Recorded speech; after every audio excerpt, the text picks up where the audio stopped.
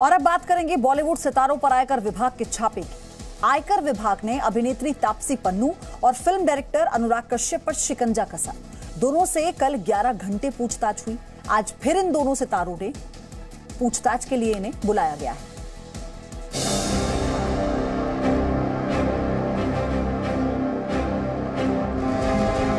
Film director Anurag Kashyap और अभिनेत्री तापसी पन्नू ये दोनों ही आयकर विभाग के निशाने पर हैं। आयकर विभाग ने कल अनुराग कश्यप और तापसी पन्नू समेत फैंटम फिल्म्स कंपनी से जुड़े लोगों के 22 ठिकानों पर छापे मारे। आयकर टीम ने लेन देन से जुड़े कई रिकॉर्ड कब्जे में लिए। कल जहाँ दोनों से 11 घंटे पूछताछ चली, वहीं सर्च अभियान आज भी जारी रहेगा। आज फिर से दोनों से पूछताछ हो सकती है। सूत्रों के मुताबिक अनुराग कश्यप के ऑफ़िस में अभी भी सर्च अभियान जारी है। इसे पूरा होने में तीन दिन का वक्त लग सकता है।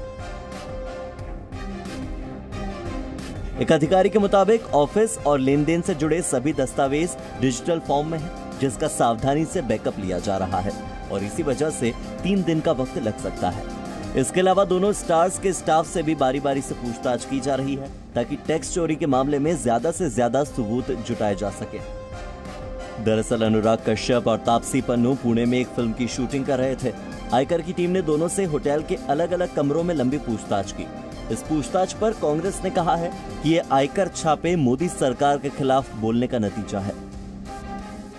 जो भी केंद्र सरकार के खिलाफ में अपनी भूमिका रखता है या जो भी वास्तव भूमिका व्यक्त करता है, ऐसे व्यक्ति को बोलने से उसके ऊपर दबाव निर्माण करने के करने का ये आजकल माध्यम हो गया है।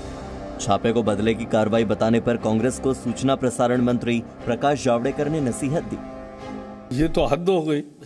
जिस जिसका भी बारे में इनकम टैक्स या जाँच एजेंसिया को जानकारी मिलती है क्रेडिबल उसी का जाँच एजेंसी जाँच करती है और बाद में कोर्ट में मसला जाता है। ऐसा थोड़ा ही है।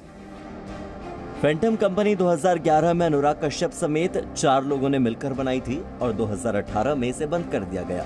आयकर विभाग ने जब इसकी जाँच की तो कई रिटर्न मैच नहीं हुए और इसके बाद फैंटम फ़िल्म से जुड़े कई दफ्तरों पर छापेमारी की गई। वहीं तापसी पन्नू प्रॉपर्टी टैक्स को लेकर जाँच के दायरे में है। Bureau report G media Presenting B News app available on Google Play and App.